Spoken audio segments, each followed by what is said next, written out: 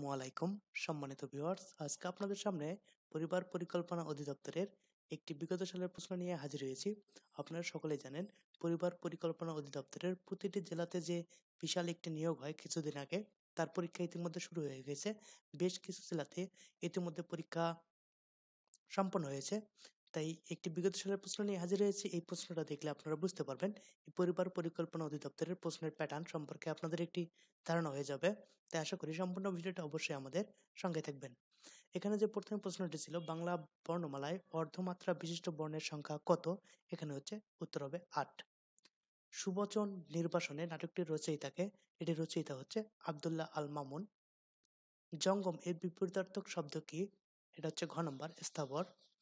তপবন। এর সঠিক সন্ধি বিচ্ছেদ কি? এটা হচ্ছে তপ বিসর্গ যোগ বন ক নম্বর। পাঁচ নম্বর ছিল কোন সমাসে ব্যাসবাক্য হয় না? এটি হচ্ছে নিত্য সমাসে। নিত্য সমাসে কখনো ব্যাসবাক্য হয় না। পুষ্প এর সমর্থক শব্দ নয় কোনটি? এটি হচ্ছে অবনী গ নম্বর। সাত নম্বর ছিল মনির চৌধুরী রচিত মুখরা রমণী বশীকরণ একটি কি? এটার উত্তর হবে এটি একটি অনুবাদ নাটক। আট নম্বর ছিল কোন বানানটি শুদ্ধ? সঠিক বানান কোনটি? গ নম্বর দেখতে পাচ্ছেন আপনার বানানটা একটু দেখে নেবেন। নয় নম্বর ছিল, যে সমাসের পূর্বে যে সমাসে পূর্বপদের বিভক্তির লোপ হয় না, তাকে কি বলে? পূর্বপদের বিভক্তির লোপ হয় না, সেটা হচ্ছে অলোক সমাস। গৃহ এর সমর্থক শব্দ নয় কোনটি? এটার অ্যান্সার হবে ঘরোয়া। খ নম্বর, লাজ শব্দটি কোন পদ? এখানে লাজ শব্দটি হচ্ছে বিশেষ্য পদ। বিচ্ছিন্ন প্রতিলিপি কাব্যগ্রন্থের রচয়িতা কে? রচয়িতা হচ্ছে মাঝহারুল ইসলাম। তারপর ছিল গ্রিক ট্রাজেডি ইডিপাস। বাংলায় কে অনুবাদ করেন? এটি অনুবাদ করেন গ নম্বর সৈয়দ আলী আহসান। তারপর ছিল বাংলা ভাষায় কয়টি খাঁটি বাংলার উপসর্গ রয়েছে? এটার উত্তর হবে একুশটি। গ নম্বর আনন্দ মঠ উপন্যাসের লেখককে, এটার উপন্যাসের লেখক হচ্ছে বঙ্কিমচন্দ্র চট্টোপাধ্যায়। বিদ্রোহী কবিতাটি কোন কাব্যের অন্তর্গত? এটি হচ্ছে অগ্নিবীণা কাব্যের অন্তর্গত। সমাসবদ্ধ শব্দ আনত, কোন সমাসের উদাহরণ? এটি হচ্ছে কর্মধারয় সমাস। মাইকেল মধুসূদন দত্তের বীরাঙ্গনা কাব্য কোন ধরনের কাব্য? এটি হচ্ছে পত্রকাব্য। তারপরে ছিল how fine the flower is, it is an, এটা হচ্ছে একটা exclamatory sentence. Walking is the, in the morning is good for health this is এখানে ওয়াকিংটা হচ্ছে একটি জিরান্ড তারপর ছিল হুইচ ওয়ান ইজ কারেক্ট এখানে সঠিক বাক্য হচ্ছে ক নম্বরটা the lady died of cancer which of the following words is misspelled এখানে ভুল বানান কোনটি আছে? এটার উত্তর হবে গ নম্বর। ডায়েক্ট এটি হচ্ছে ভুল। তারপর আর্টিকেল প্রয়োজন হয় না। No article is needed before কার পূর্ব আর্টিকেলের প্রয়োজন হয় না। এটার উত্তর হবে এ প্রোনাউন প্রোনাউন পূর্ব কোনো আর্টিকেল বসে না। আমি অপমান, অপেক্ষা, মৃত্যু পছন্দ করি। এখানে হবে ঘ নম্বর। I prefer death to dishonour he is gone to dog এটার সঠিক বঙ্গানুপাত হবে। সে গোল্লায় গেছে, ঘ নম্বর।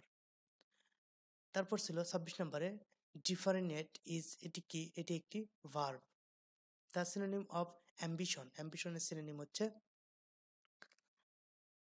ডিজায়ার গ নম্বর what is the antonym of dialect এটা হচ্ছে insert when Nobel prize E on literature was started লিটারেচারে বা সাহিত্যে নোবেল প্রাইজ শুরু হয় উনিশশো এক সালে গ নম্বর in back in black and white এটার অর্থ হচ্ছে ইন রাইটিং খ নম্বর তারপরে he is a student of dash university এখানে আর্টিকেল বলবে a a number I know nothing dash the boy এখানে বত্রিশ নম্বর অ্যান্সার হবে।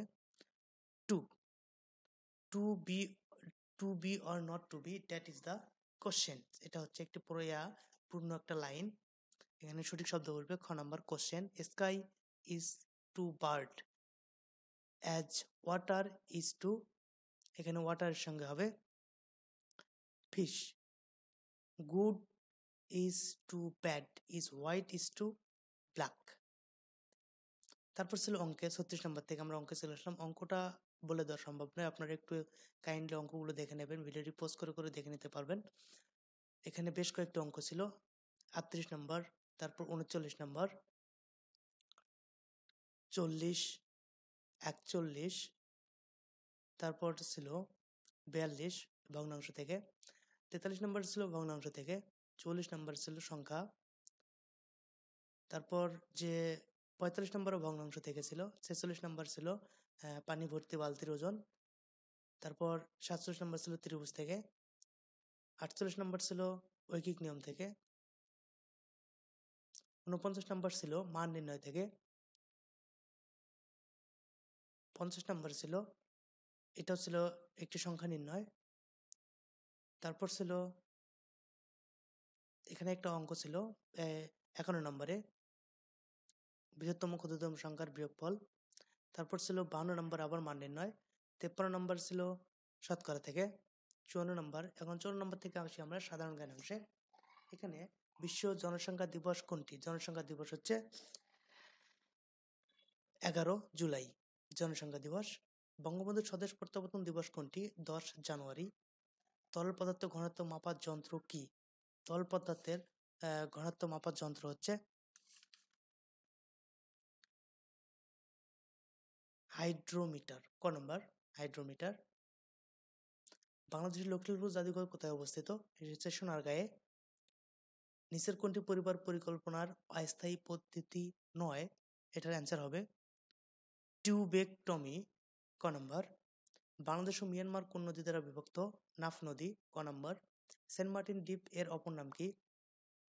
এর অপর নাম হচ্ছে নারকেল জিঞ্জিরা।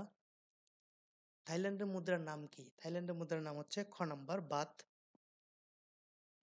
বাষট্টি নম্বর ছিল আয়তনে বড় মহাসাগর কোনটি? এটা হচ্ছে খ নম্বর, প্রশান্ত মহাসাগর। মহাস্থানগড় কোন নদীর তীরে অবস্থিত? এটা হচ্ছে ক নম্বর, কট্টোয়া নদীর তীরে অবস্থিত। বাংলা একাডেমির মূল ভবনের নাম কি? এটা হচ্ছে ক নম্বর বর্ধমান হাউস। মার্কিন যুক্তরাষ্ট্রের প্রথম প্রেসিডেন্ট কে ছিলেন? এটা হচ্ছে গ নম্বর জর্জ ওয়াশিংটন। তারপরে ছিল বৈদ্যুতিক ক্ষমতার একক কি? এটার অ্যান্সার হবে খ নম্বর ওয়াট। বাংলাদেশ ইকো গবেষণা ইনস্টিটিউট কোথায়? এটা হবে ঈশ্বরদীতে। নিচের কোনটি বাংলাদেশের জাতীয় বৃক্ষ, আম বৃক্ষ। সমুদ্রের তলদেশ ভূমিকম্পের কারণে সৃষ্ট সামুদ্রিক ঢেউকে কি বলে? সুনামি। পৃথিবীর দীর্ঘতম নদী কোনটি? নীল নদ। এই ছিল পুরো প্রশ্নটা। আশা করি আপনারা সকলেই ভালোভাবে বুঝতে পারছেন। ধন্যবাদ পুরো পুরো ভিডিওটা আমাদের সঙ্গে থাকার জন্য। আসসালামু আলাইকুম।